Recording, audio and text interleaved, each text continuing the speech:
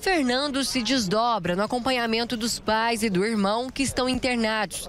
Tem sido dias difíceis, mas de muita esperança. Cauã deixou a UTI na tarde da última segunda-feira e vem apresentando uma melhora significativa.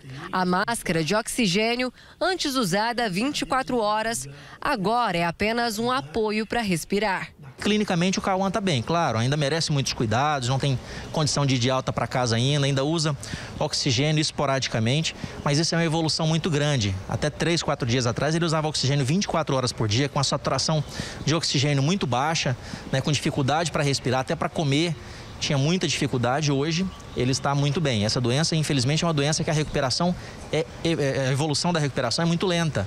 Nesse vídeo gravado pelo cantor, dá para ver que ele melhorou. O choro é de gratidão em estar vivo e pelas inúmeras orações recebidas. Depois de nove dias em um leito de UTI, ir para o quarto foi uma conquista. Tenho certeza que Deus fez uma cura, promoveu uma cura muito grande.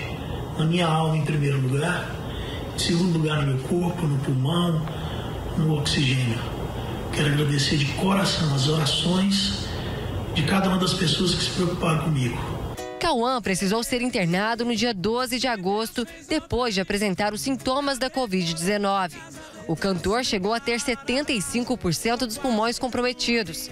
Agora está com 50% de comprometimento. Eu não quero deixar de chamar atenção para o mais importante, né?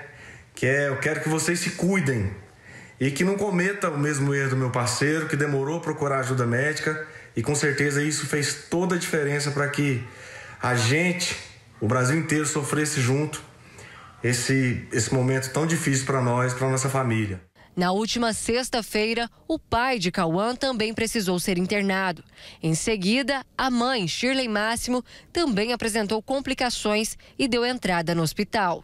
Shirley e Cauã seguem o tratamento em quartos separados. A situação mais delicada nesse momento, segundo a família, ainda é a do pai do cantor, seu João Luiz Máximo, que segue internado na UTI. Ele teve uma pequena piora na noite de segunda-feira e precisa da ajuda de uma máscara para respirar. A situação do meu pai é a mais delicada. Ele mantém-se na UTI, não houve uma, uma evolução positiva de ontem para hoje, não piorou. Mas ele havia piorado de domingo para segunda e hoje manteve o quadro clínico. É um quadro clínico grave, mantém-se na UTI, necessita de cuidados especiais, de cuidados intensivos, mas nós temos fé em Deus que muito em breve ele também estará saindo da UTI e indo para o apartamento para acompanhar minha mãe, para acompanhar o Cauã.